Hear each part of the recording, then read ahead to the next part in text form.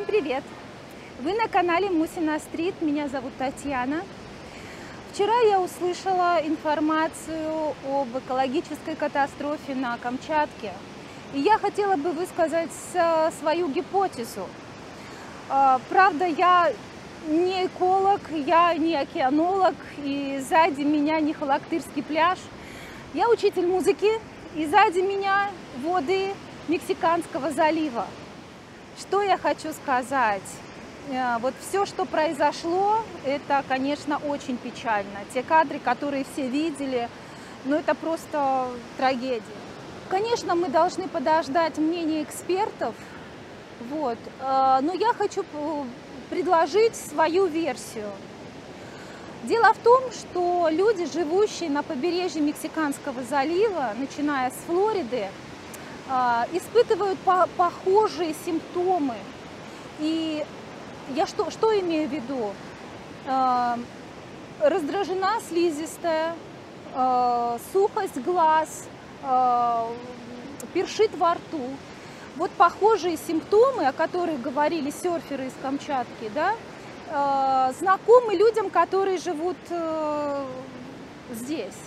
И происходит это вот вы знаете, как раз в это же время, сентябрь, октябрь месяц, даже чаще в октябре, начало-середина октября. Э, и называется это Red Tide.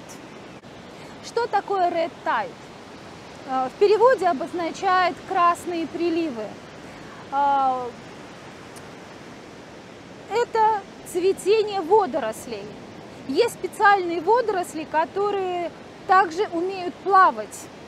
И вот скопление этих красных водорослей а, приводит а, вот к такому эффекту, когда а, океан цветет.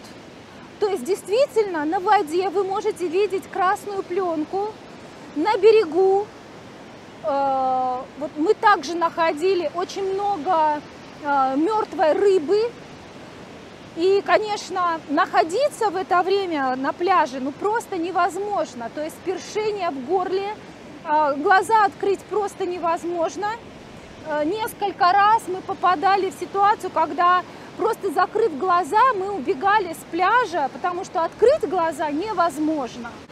Ученые знают, что э, Red Tide может выглядеть как желтая пелена на поверхности воды желтая или коричневая, но по старинке его называют red, то есть красный прилив. Раньше мы полагали, что red tide, красные приливы, могут происходить только в э, водах теплых морей и океанов.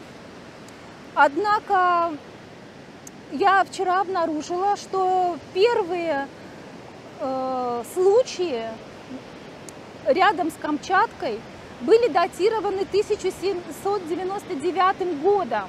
То есть тогда на острове Ситха, рядом с побережьем э, Аляски, э, погибли 115 охотников, погиб, э, которые попробовали, поели мидий, они просто отравились. Э, следующий случай был зарегистрирован в 1973 году. 12 э, человек уже в Петропавловске-Камчатском также были, получили отравление. Ну, что я могу сказать? Вот очень похожие симптомы, и мы посмотрим, может быть, э, действительно эта катастрофа вызвана несколькими причинами. Я могу предположить, что результатом случившегося является комбинация причин. Может быть и выброс фенола, и нефтяные пятна, и сток реки. Ну вот я решила поделиться своим мнением, своими догадками, своей гипотезой. И я очень надеюсь, что океан с этим справится. Ну, во всяком случае, мы не должны об этом молчать и по возможности помочь природе. Пишите, что вы думаете по этому, по этому поводу. С вами я, Татьяна Мусина. Всем пока!